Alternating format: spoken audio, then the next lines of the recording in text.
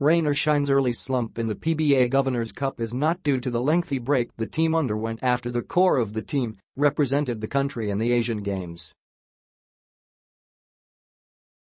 This was the assessment made by Rain or Shine coach Caloy Garcia as the Elastopainters dropped their second game of the conference, a 92-76 loss to Magnolia on Wednesday.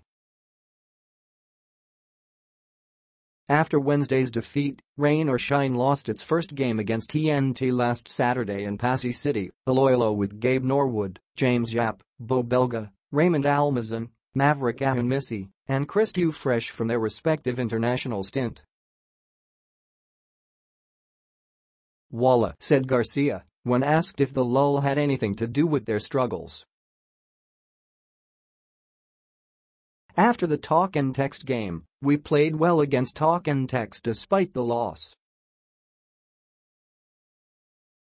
But today's game was a totally different team. Garcia said the Asian Games break should not be an excuse since the players are expected to be better following the international exposure. Tingen Ko Hindi, challenging. I think everything was going well despite young and Animnog player Walla. We cannot ever use that as an excuse, because Dapat Ngog Pagbalik Neil Asa Asian Games, they should be performing better, better than how they are playing right now, said Garcia. Belga shared his coach's sentiment, refusing to make wear and tear as an excuse. Dalawang Games Paul Lang Namani, the ROS enforcer said.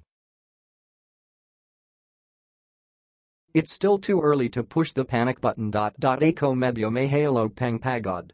E. Wala pa talagang pahinga. Pero hindi ko naman iniinda, he added after finishing with 8 points, 5 rebounds, and 2 assists against Magnolia. Belga said the national team stint wasn't only physically tough on Garcia's part but also mentally. Maharap Magisap, Maharap Gumawa NG Gamiplan. And Sia Young top assistant night coach Yang, Giao. So it will matter mentally, Belga related. Garcia, though admitted import Jonathan Bullock also had to make the tough adjustments of the six players coming to the team only after the international stint.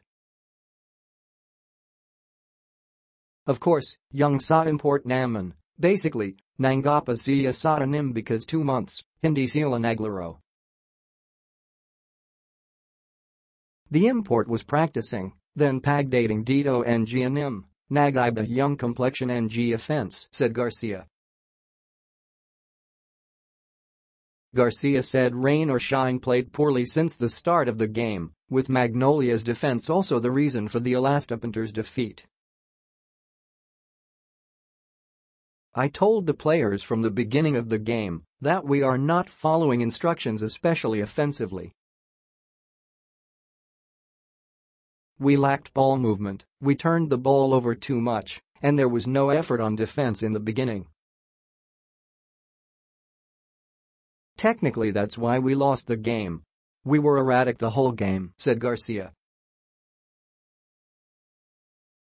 Hindi Ganon Laro Nam and even in practice, our preparation was good, but I think we just have to learn how to play against the pressure defense NG Caliban.